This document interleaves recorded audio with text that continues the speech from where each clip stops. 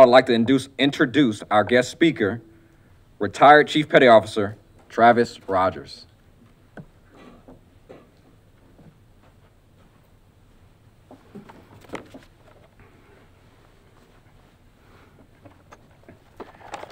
Morning, everyone. First, I want to start off saying how honored I am to have been asked to be the guest speaker for Mickey's pinning ceremony.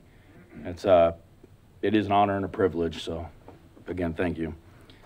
It's a truly momentous occasion that, unless you've gone through the chief season, the initiation process, the acceptance, you'll never truly understand what she's gone through and what we've been there with her for.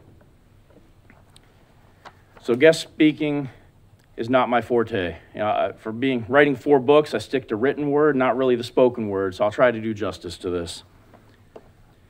Over the last six weeks, Mickey has been tried, tested, and more importantly, accepted into the worldwide brotherhood and sisterhood known as the Chiefs Mess. What started as a first class petty officer receiving news of her selection to chief petty officer quickly turned into a tailspin in a world where she was no longer a first, yet not yet a chief. She was a mess of one while trying to enter a mess of many. As any chief can attest, going through season is no easy task, let alone going through it alone as the sole select. But in in spite of this additional challenge, Mickey went full bore and tackled it. While the cultural adjustment and the shift in mindset may have had a rocky start, it became evident to all of us that she was going to be a fine addition to the mess. For some guest speakers, their relationships go back possibly years and years with the person standing front and center. For us, it goes back only to 2019 when I served as her departmental leading chief petty officer over at Meadows. With the departure of her senior chief from the command, I was asked to go fill in to assist Chief Guy here with all the sailors that were over there. I was an IT in a land of CTs, but that didn't matter. Because a chief is a chief is a chief, and we know how to lead sailors and do so effectively. And that's where Mickey comes into the picture. As one of my leading petty officers, she was always there to provide support when I needed anything at all to do my job effectively and efficiently. I could trust that she was going to get things done and get it done right the first time. There was a natural leadership element that she possessed.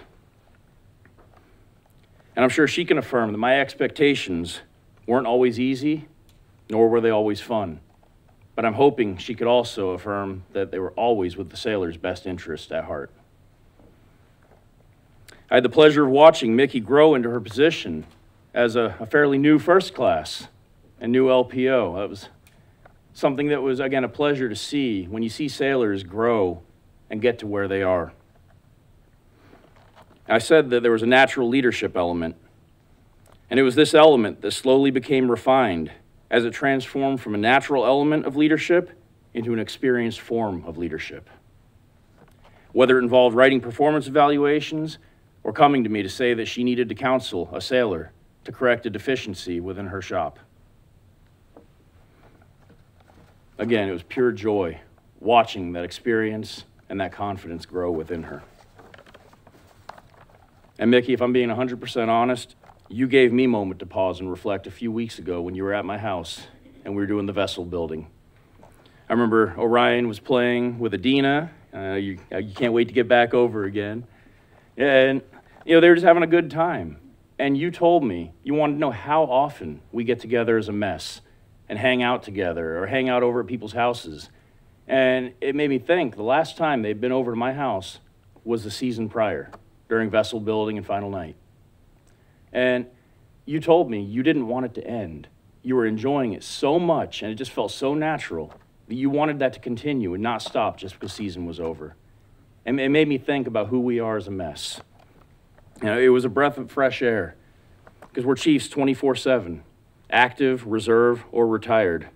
And I want you to keep that hunger and that desire to be involved and be part of this, not just as a work family, but as family.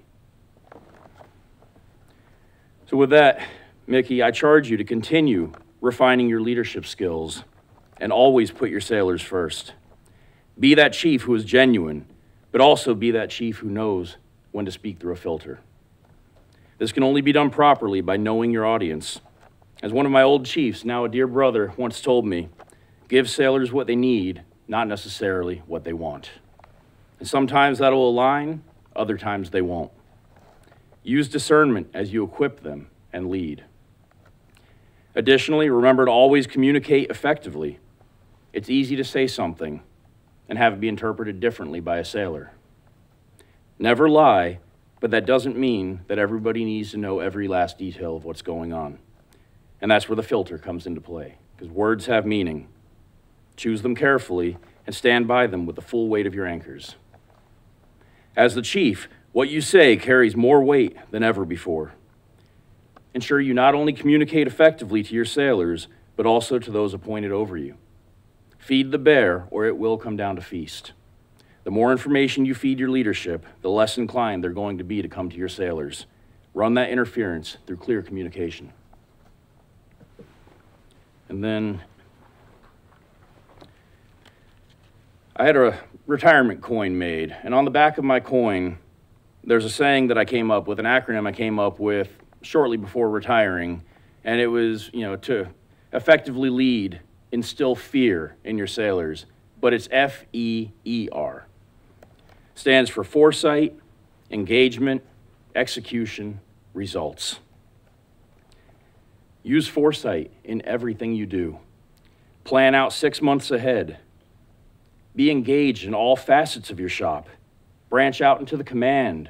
Don't just be your local in your shop sailor's chief, but a chief at the command in the United States Navy.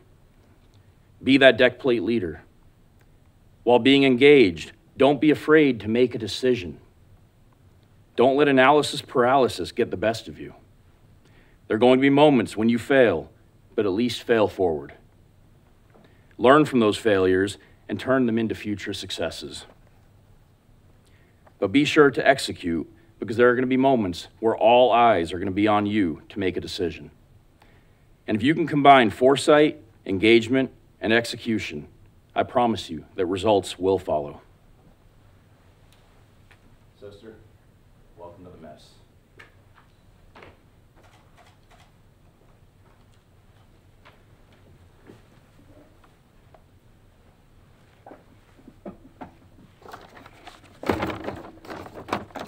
Thank you, Chief Rogers.